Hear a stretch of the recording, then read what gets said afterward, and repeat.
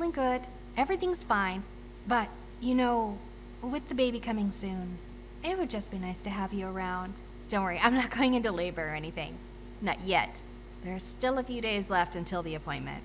It's just, things could happen any time now.